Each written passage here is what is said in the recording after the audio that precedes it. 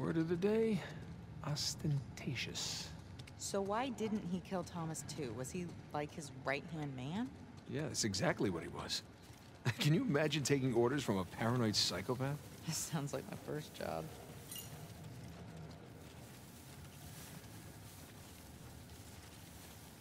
what, the producer on your TV show? No, my manager from Macho Nacho.